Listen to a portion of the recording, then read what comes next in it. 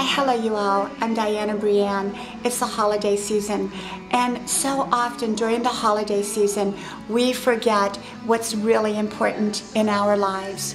And it's not all the rushing and hustle bustle that we think that we have to do to make the holiday season a good one. Sometimes simply less is more. The less things we put on our busy schedule, or the less things we put on our schedule, the better because then we can truly, truly enjoy so much of what really is in our lives and what's really important. And almost always the people that are closest to us are the most important. From my house to yours, happy holidays and Merry Christmas from my house to yours.